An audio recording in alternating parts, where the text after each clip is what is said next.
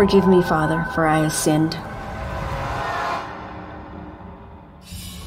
It has been 22 and a half hours since my last confession, so here I am to unburden myself and receive absolution for my sins. I usually go over to St. Michael's Church, not your own lovely edifice, which I'm sure I could grow to love.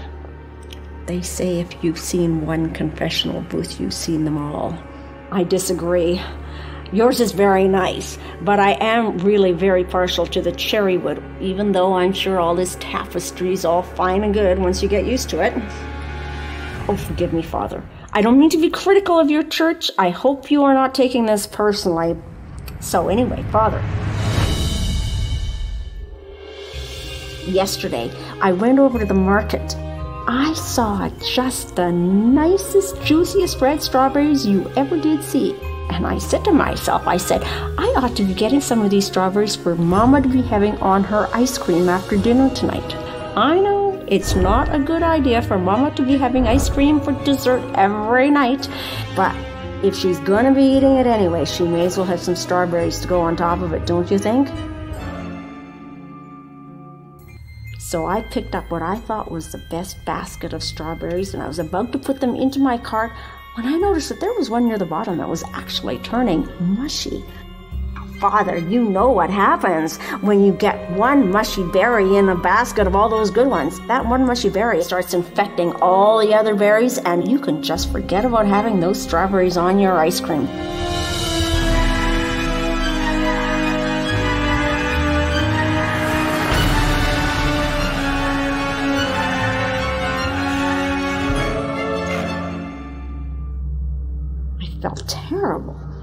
I do?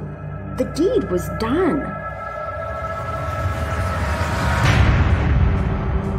I was surprised that the cashier didn't see me blush. Have a nice day, she said, just like she always does.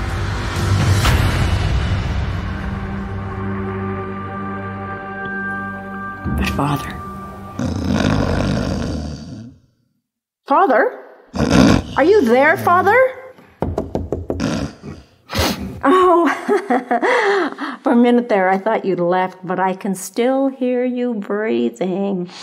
Well, Father, I wish that was the worst thing that I'd done yesterday, but it gets worse. Way worse. Last night, Mama's friend Grace's son came and took me for a ride. He tried to kiss me.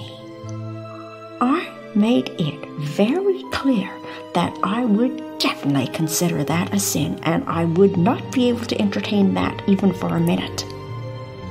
But, Father, when he tried to kiss me, I realized that I was getting a little wet and tingly in the area of my private parts. I actually get that way quite often when I'm alone in my bed. Only I never thought that I needed to bring that to confession because I am always very careful to only think pure thoughts whenever I touch myself, and I am alone after all. Are you okay, Father? so, anyway, Father, suddenly I couldn't help myself. My breath started coming in short little gasps. My head felt all woozy. Started to groan, and I heard him groaning too. So, Father, I opened my eyes, and Father, what I saw will be burned into my mind forever. His thing was sticking up. It was so fat and red and kind of covered in veins. Well, except the top. Kind of reminded me of a strawberry. I don't even want to tell you what that made me think of doing with it. He'd been leaning on me pretty hard, Father, so I guess it's no big surprise that he fell forward when I got out of the car.